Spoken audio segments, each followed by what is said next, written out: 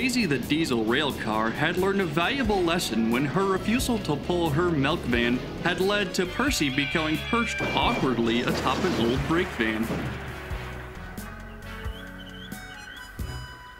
The Fat Controller had given her a second chance, which she was determined not to squander. Percy and Daisy had not spoken since the accident. Percy still blamed Daisy for what had happened and avoided her at every turn. This made Daisy feel very sad.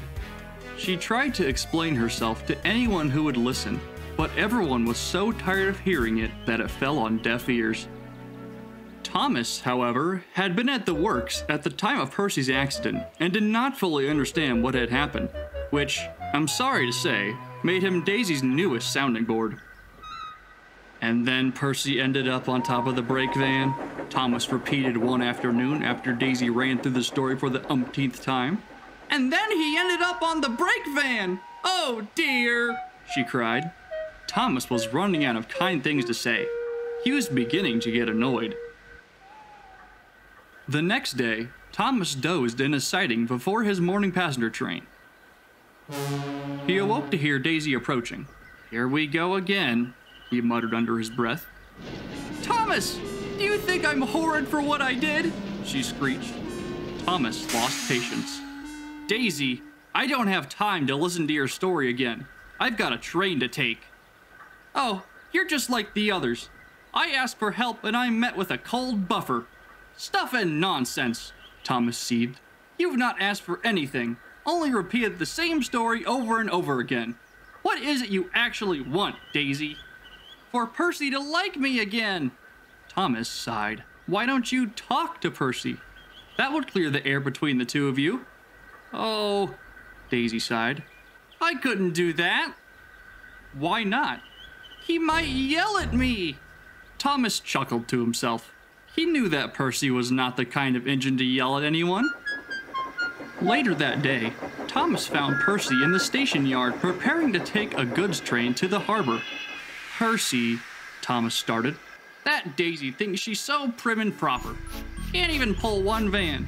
If she hadn't done that, I never would have offered to pull Toby's trucks, and I never would have ended up on that blasted van. Thomas rolled his eyes and listened patiently. As the week went on, both Daisy and Percy complained about the other whenever they saw Thomas.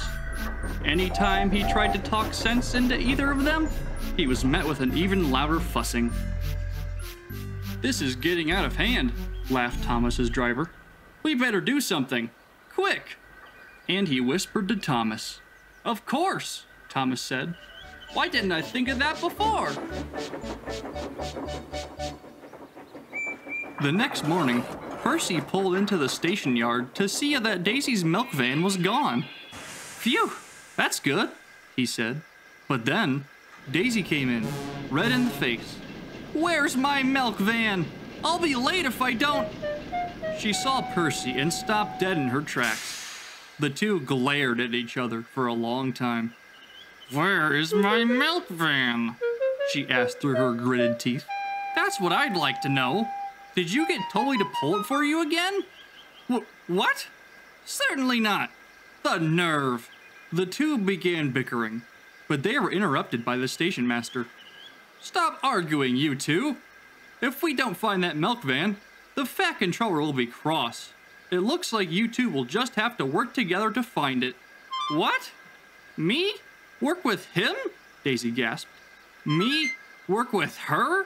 Percy snapped. The station master made it very clear. The Fat Controller did not like misplaced trucks. I know it was right here, Percy said. Well, it's not here now, scolded Daisy. Will you just be quiet and help me? I am helping! You're just too stubborn to admit that we've looked in the same spot over and over again. Yes, well, you're too stubborn to admit your mistake about the milk van before. I wouldn't have landed on that brake van if you had just done what you were told. It was all out in the open now. Daisy looked down at her buffers, ashamed. I'm sorry, Percy. I had no idea that all of that would have led to your accident. Honestly, I didn't. Percy was disarmed. He fully expected Daisy to defend herself. Why do you think I take my milk van now? I'm trying to make it up to you, Percy. Now Percy felt ashamed too. I accept your apology, Daisy. I'm sorry for keeping a grudge for this long. It's been really silly that we've been arguing over a milk van. Why, if I hadn't been more careful with those trucks, I might have avoided the accident altogether. And for the first time, the two smiled at one another. Then, Thomas rolled into the yard with the milk van in tow. Ah, you see? I knew this would help you two settle your differences. Percy and Daisy leered at Thomas. Ah, so you're the one who stole the milk van, Daisy scoffed. That was really irresponsible of you, Thomas, Percy bellowed. Thomas tried to explain, but it was to no use. Soon, Percy and Daisy were giving him an earful about the importance of not messing with other engines' trucks. That's what I get for helping, said Thomas, but he said it to himself.